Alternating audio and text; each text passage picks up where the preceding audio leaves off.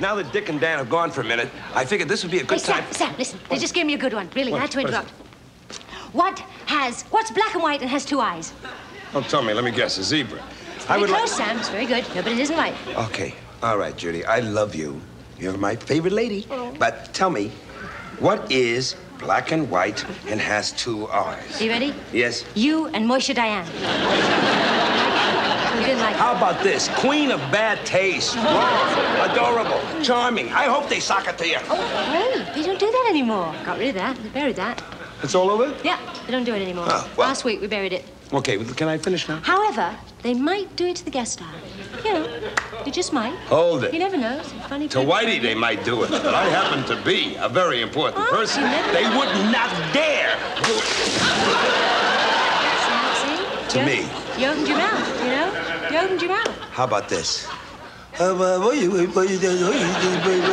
What is that, Sam?